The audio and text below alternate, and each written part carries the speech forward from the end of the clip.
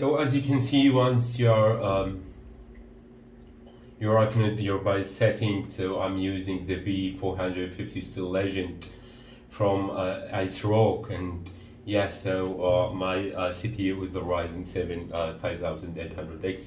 So here uh, you cannot find uh, the TPM setting under security. So what you are going to do is to go to advanced, then CPU configuration, and here you can find AMD FTPM switch.